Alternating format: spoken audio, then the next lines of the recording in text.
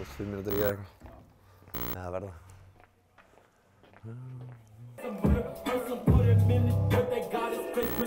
Það er uh, föstudagur í dag, æfingar til hálftíma, leikur eftir tvo daga, mútið val, við ætlum að krossa þá, þannig að nú ætlum við aðeins að undirbúa kroppin. Þetta er létta, létta nýjabegu, aðeins að skerpa á, fá smá sprengju. Þetta er allt og hátt. Ég var að komast að ég held ég væri meðalæð, ég er að komast að ég er aðeins undir. Það var vond, vond að heyra. Háki bað, bað hérna, bað allir maður að senda inn hæðina sína. Ég held ég góður í meðalæð. Ég, ég sé Ágúst og kannski einhver einn annar sem eru læri en ég. Allir fór og nú er ég bara einn af þeim eldri og einn af þeim minni. Slæm blanda.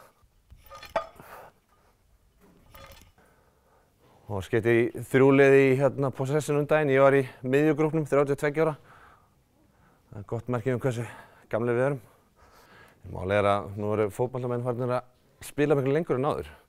Man þegar ég var yngri var þetta að hætta bara upp úr 30 þá voru bara taldir, þú veist, gölluð vara.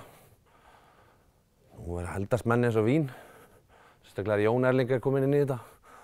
Það eru mikið menn með góður auðvinni. Þetta er að taka upp matta, frekar. Það ekki?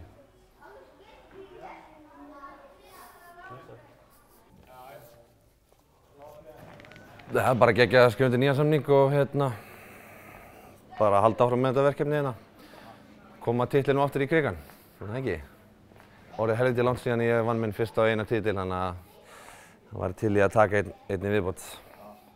Það er líka bara, við verið með þannig hóp að við eigum að það geta gert meira en við höfum gert og sérstaklega núna erum við með geggjaðan hóp og það er bara dauð að fara að vinna þetta mót. Bara hlaka til að þið fylgist með okkur í sjónvarpinu, með ekki mæta völlin en vonandi, hann bara kemur það bráðlega. Það var gaman að fá mynda öllum í FH-gallanum og tagga okkur og gera eitthvað skemmtilegt úr því meðan leikum stendur. Það ekki? Áfram FH!